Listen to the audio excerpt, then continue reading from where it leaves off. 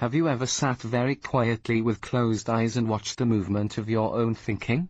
Have you watched your mind working, or rather, has your mind watched itself in operation, just to see what your thoughts are, what your feelings are, how you look at the trees, at the flowers, at the birds, at people, how you respond to a suggestion or react to a new idea? Have you ever done this? If you have not, you are missing a great deal. To know how one's mind works is a basic purpose of education. If you don't know how your mind reacts, if your mind is not aware of its own activities, you will never find out what society is. You may read books on sociology, study social sciences, but if you don't know how your own mind works you cannot actually understand what society is, because your mind is part of society, it is society.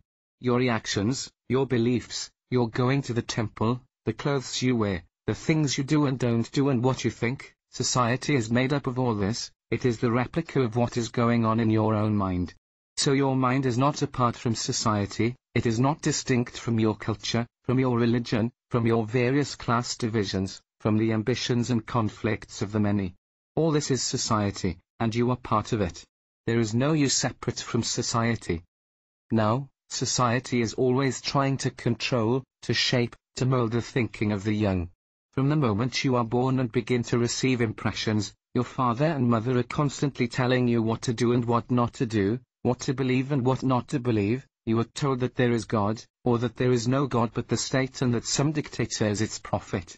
From childhood these things are poured into you, which means that your mind, which is very young, impressionable, inquisitive, curious to know, wanting to find out, is gradually being encased, conditioned, shaped so that you will fit into the pattern of a particular society and not be a revolutionary. Since the habit of pattern thinking has already been established in you, even if you do revolt it is within the pattern. It is like prisoners revolting in order to have better food, more conveniences, but always within the prison.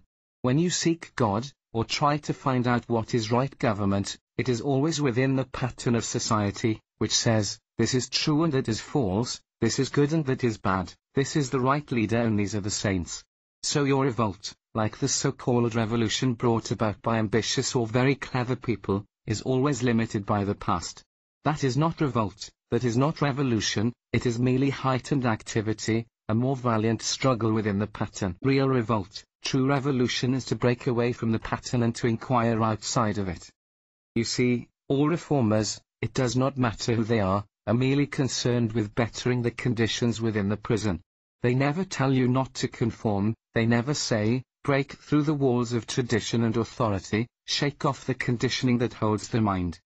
And that is real education, not merely to require you to pass examinations for which you have crammed up, or to write out something which you have learnt by heart, but to help you to see the walls of this prison in which the mind is held. Society influences all of us, it constantly shapes our thinking, and this pressure of society from the outside is gradually translated as the inner, but, however deeply it penetrates, it is still from the outside, and there is no such thing as the inner as long as you do not break through this conditioning. You must know what you are thinking, and whether you are thinking as a Hindu, or a Muslim, or a Christian, that is, in terms of the religion you happen to belong to. You must be conscious of what you believe or do not believe. All this is the pattern of society and, unless you are aware of the pattern and break away from it, you are still a prisoner though you may think you are free. But you see, most of us are concerned with revolt within the prison, we want better food, a little more light, a larger window so that we can see a little more of the sky. We are concerned with whether the outcast should enter the temple or not, we want to break down this particular caste, and in the very breaking down of one caste we create another, a superior caste, so we remain prisoners, and there is no freedom in prison. Freedom lies outside the walls, outside the pattern of society, but to be free of that pattern you have to understand the whole content of it, which is to understand your own mind. It is the mind that has created the present civilization, this tradition-bound culture or society and, without understanding your own mind, merely to revolt as a communist, a socialist, this or that, has very little meaning. That is why it is very important to have self-knowledge, to be aware of all your activities, your thoughts and feelings, and this is education, is it not? Because when you are fully aware of yourself your mind becomes very sensitive, very alert. You try this, not someday in the faraway future, but tomorrow or this afternoon.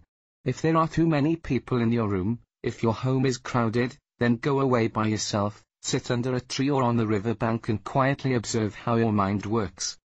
Don't correct it, don't say, this is right, that is wrong, but just watch it as you would a film.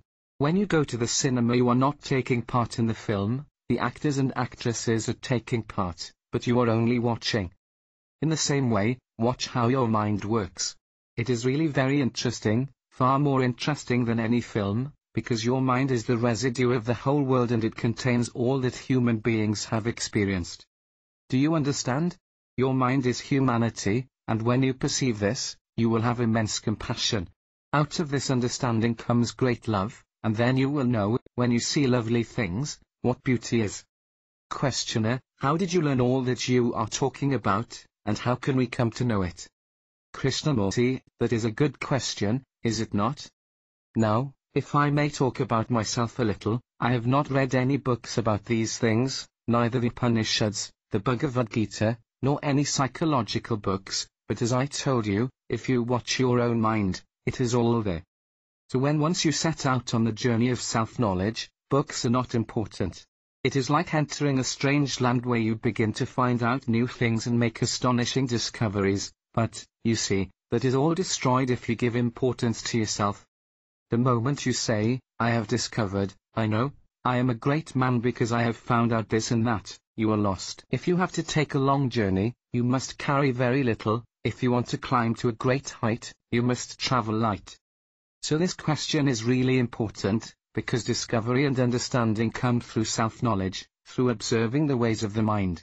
What you say of your neighbor, how you talk, how you walk, how you look at the skies, at the birds, how you treat people, how you cut a branch, all these things are important, because they act like mirrors that show you as you are and, if you are alert, you discover everything anew from moment to moment.